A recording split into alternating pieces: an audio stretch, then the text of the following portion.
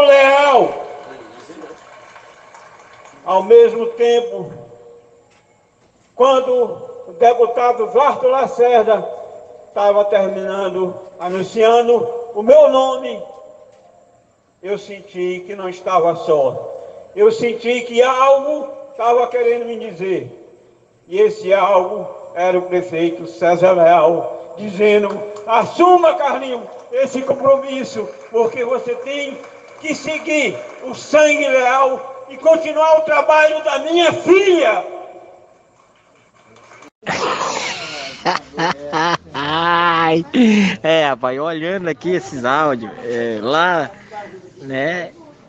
Ah, é, o pessoal tô recebendo até sinal de mortos. ai, ai, ai, ai, ai. Meu Deus do céu. É, rapaz. Que ponto chega, né, rapaz? Que ponto chega uma política, né?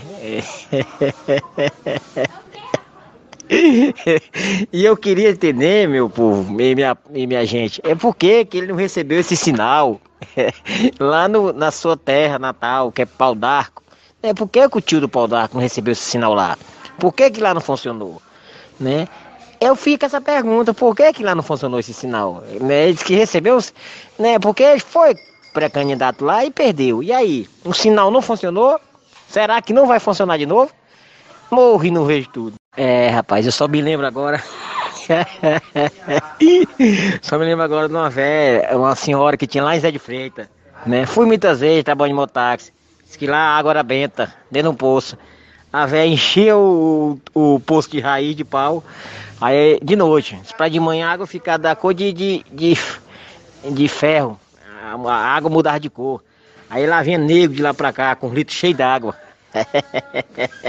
tá igual essas profecias aí. O pessoal recebendo um sinal aí. Ê, meu Deus do céu. Mas é, é querer fazer o povo de besta mesmo. Aí é querer fazer o cara de besta mesmo. Rapaz, vocês não estão brincando com boneco, rapaz, nem com boneca. Eu brincando é com gente, rapaz.